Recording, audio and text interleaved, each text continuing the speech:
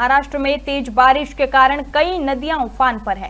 नासिक के अंजनेरी फोर्ट में 10 से ज़्यादा पर्यटक सीढ़ियों पर पानी के तेज बहाव में फंस गए।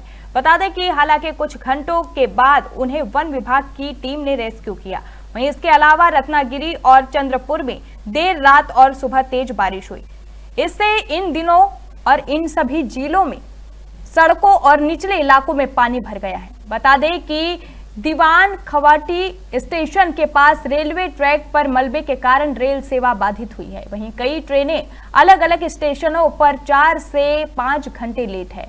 उधर नेपाल से सटे इलाकों में तेज बारिश के कारण गंगा नदी उत्तर प्रदेश और बिहार के कुछ जिलों में खतरे के निशान के करीब बह रही है। बता दें कि उत्तर प्रदेश के सत्रह जिलों में बाढ़ के हालात है।